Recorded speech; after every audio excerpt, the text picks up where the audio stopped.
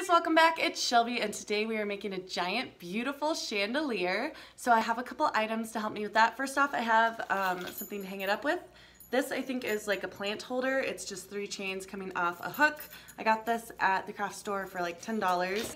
And what sparked this project is I was actually given this, which is just an absolute beautiful crystal. I think it's like actually glass, but it's super, super beautiful for like the center of the chandelier. And that's what got me interested in making a chandelier. And then I saw these at just like Target or whatever in the Christmas ornament section. I'm like, A, the price is right, and B, they look like cute little chandelier droplets. So to attach them, I just got ornament hooks. So we're gonna try that. And then I also have some fishing line. Let me know what you think about this video and this craft down in the comments. Let me know if you like it by hitting that thumbs up. We'll get right into it. So for the frame of the chandelier, I have these two thingamabobs, which they say they are just wire wreath frame, um, just arranging supplies. And this one says six inch box wreath frame. So just big and little wreath frames. You can get these in the, I guess, floral section. I got them at Joann's and they were in this like whole separate section. Um, but buy the wreath making supplies. They're super cheap. They're a couple dollars each. And I'm to stack them like, I haven't decided how I'm to stack them yet. So I've arranged my two wreath bases. I just put the little one inside of the big one for ease of spray painting. Got my gold spray paint and we're just going to spray paint them gold, let them dry, and then flip them over. And then, you know, spray paint them gold again. There, we'll just let that dry. So my two wreath frames are dry. Both of them are a lovely gold now. And I haven't decided if I want the chandelier to hang like this or like this, like a traditional chandelier shape. Both of them are beautiful, so um, we will see.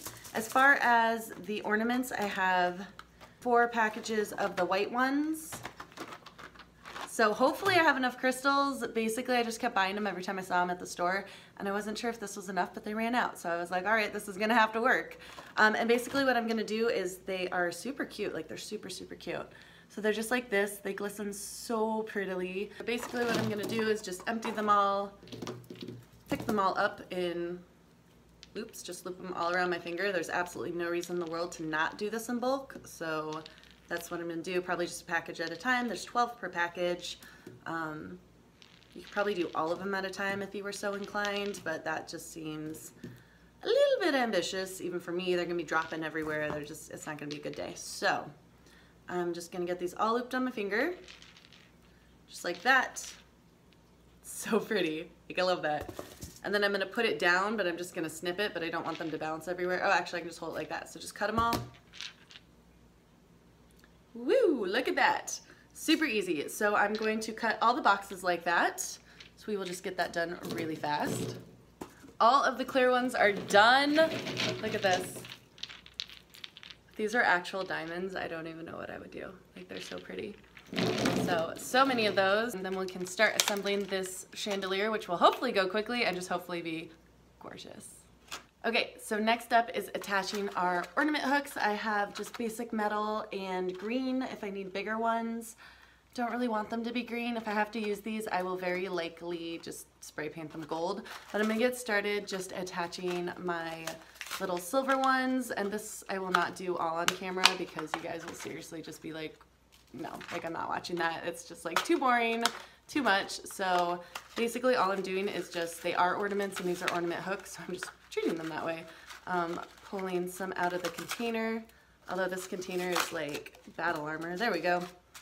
So we'll get some out and just little hooks. Put them through, fold them up,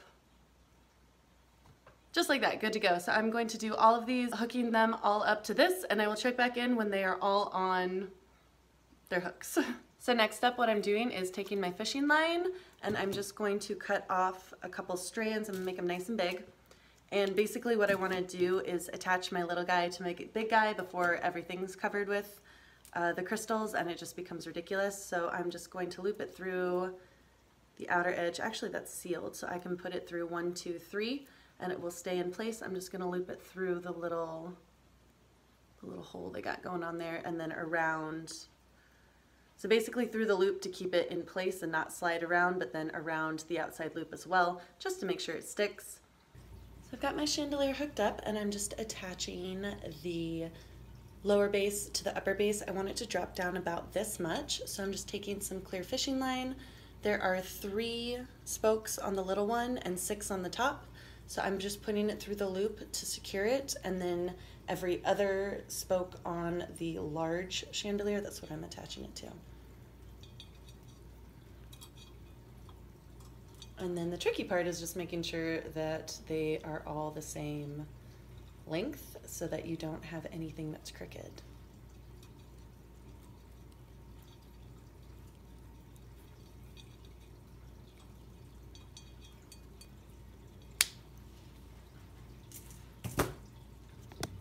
Okay, so that is my chandelier base. I just have it hooked up to my dining room lights just so I can work on it. But uh, yeah, so that went together pretty easily. The fishing line is actually more visible on camera than in real life. I think that's just because the light is coming down reflecting on it. But we are going to get our crystals on here and um, see how it turns out. So I'm just carefully hanging my clear crystal ornaments up on the very outside ring of the wreath holder. And the ornament hooks are perfect. They're curved already, so I don't even really need to pinch them too much at the top. If they look like they're wobbling around, I'm going to pinch them a little bit, but for the most part, they're just hanging on gravity and it's a hook, so you don't really need to worry about it. They shouldn't be, you know, theoretically bumped or pushed up or anything, but if it looks like it's not holding or they're sliding around a bit, I am pinching the tops just a little bit just to make sure that everything um, stays in place and holds like it should. Okay, that's beautiful as a start. So I will get started on the lower level. I might fill in some of the spots with some more clear ornaments if uh, I need to, but that's a really beautiful start. For the lower level, I'm doing the exact same thing I did for the top level, and that's hanging the ornaments on the very outside ring of the smaller interior wreath base holder. And for these, just because they do wobble around more, I am pinching the tops a bit more just to keep them on. And the inside layer is going to need less crystals than the outside layer, so uh, just kind of putting those on without knocking off the outside ring layer. But yeah, they go on pretty easily. I think I have enough clear ornaments left to add one per section to the top layer. I have nine left, so I just need six, and that'll help just kind of bulk everything up a little bit, add a little bit more sparkle. Just one per level, I think is going to be just the little extra touch that it needs so badly. I'm really glad I have the extra ornaments because everything just looks better when they're touching and then it doesn't look sparse at all. There we go. So far, this is looking absolutely beautiful. It just needs a little extra something, and that is where the crystal ball my friend gave me is going to come into play. So far, I love the way it's turning out. The very last piece is this gorgeous crystal pendant that's going to go at the base of the chandelier. If you don't have one of those, you can just use one of the ones you've been using. But I'm gonna attach this, so I need to get myself some fishing line. If I can cut that, there we go. Figure out about how far I want it to hang down. But first off, just attach this through the fishing line. I want it to nice and secure. So I'm going to just kind of tie it, tie it off a little bit. Make sure it's not going anywhere, kind of like you tie pearls. This is 15 pound test and like not a 15 pound crystal ball, so it should be 100% fine. And then I want it to hang probably about there. And what I'm thinking I'm gonna do is just get these little wire hook hangers and attach three of them towards the center and just kind of keep it in place. So that is the goal, but I'm going to tie this off here in a loop so that I am able to hang it. not in a loop, sorry, just in a knot so that it forms a loop. See that? Yeah, so there's a little knot there so that I am able to hang it up. We're gonna switch the angles, get this attached to the chandelier, and it's gonna be done.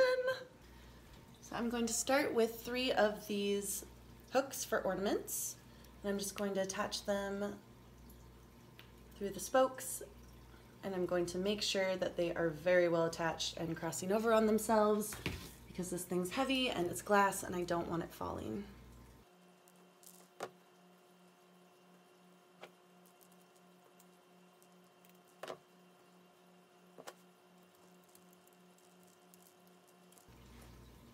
There we go. All the little hooks are facing in. Going to lower down my crystal. Oh, this is so exciting. So pretty.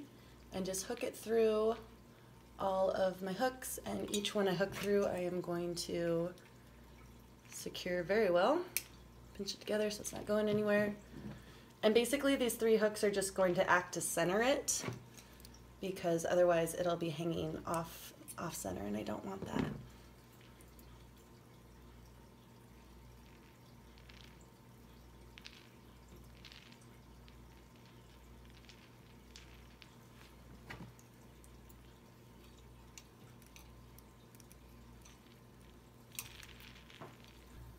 Oh my god, you guys, this is it. Look how beautiful that is. This is right above my dining room table and um, it's not gonna stay there because it's actually attached to a light. But look at how gorgeous and stately that is and it's all for under $40. It reflects light so beautifully. You could hook it up to something that already has light bulbs in it because there is space in the wreath bases, but um, it also doesn't need it. Like it could just hang somewhere. This is absolutely gorgeous. I'm so excited for this. Okay guys, here's how it turned out. Isn't it gorgeous?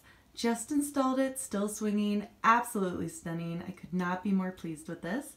If you like the video, let me know by hitting that thumbs up. Let me know what you think down in the comments. Don't forget to subscribe, and I will see you here again soon. Thanks for watching. Bye for now.